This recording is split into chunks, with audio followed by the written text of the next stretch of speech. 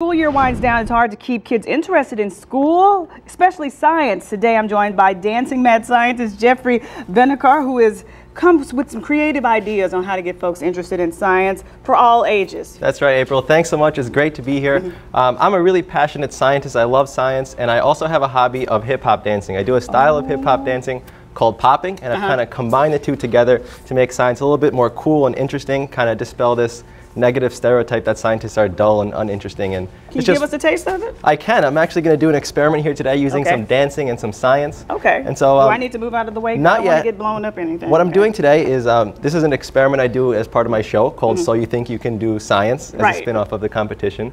And we're learning about pH changes, which is basically um, tells you how acidic or basic something is. And that's kind of some complicated science. And to Mm-hmm. Learn about it, you got to go to your kitchen. So you're familiar with vinegar? Yes. Vinegar is something that's acidic. Right. It kind of has a sour taste. Yes. There's also things like baking soda, which are basic. Mm -hmm. And so by changing how acidic or basic a liquid is, we can possibly make it change colors because to these cups here, I've added a vegetable dye that changes colors based on how acidic or basic something Okay. is.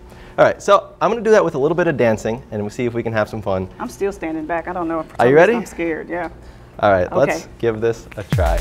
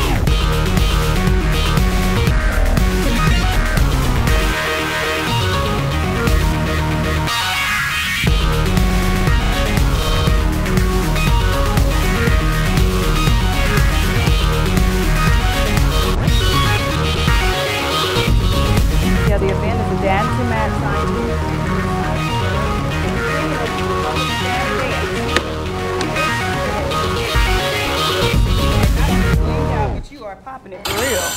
Can you do the chicken head? Do you know? I can't do the chicken head. Okay, just asking. What's the St. Louis? You want to give it a try? You want to be a robot for a minute? No.